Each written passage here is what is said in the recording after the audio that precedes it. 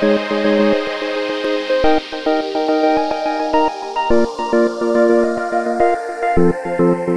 are going to be two fairs in the first quarter, two career fairs in the first quarter. It's going to be one STEM career fair, uh, that's going to be a huge career fair where all the big companies like Amazon, Salesforce, uh, Facebook, Uber, Tinder, uh, name it and you have it.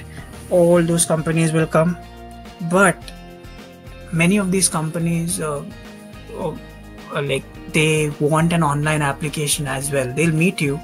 Uh, they'll look at your resume. They'll ask you for your experience. If you blow their mind, they will definitely give you a call for an interview. But you also have to apply online.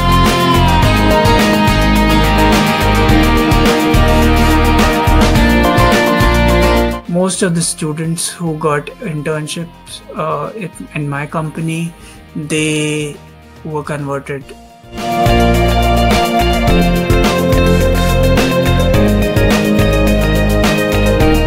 For your internship is going to be hourly so i guess somewhere around 40 to 50 between 40 to 50 per hour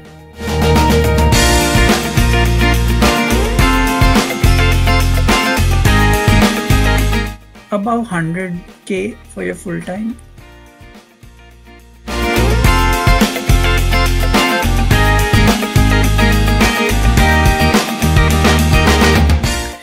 So i didn't have one. I was uh, i just had my internship and uh, they evaluated my uh, project and my day-to-day dealings with like how I dealt with problems and how I conversed and uh, uh, spoke about it uh, or tackled it along with my teammates. And uh, that was it. I had a final presentation and my manager uh, told me that uh, they they're extending the offer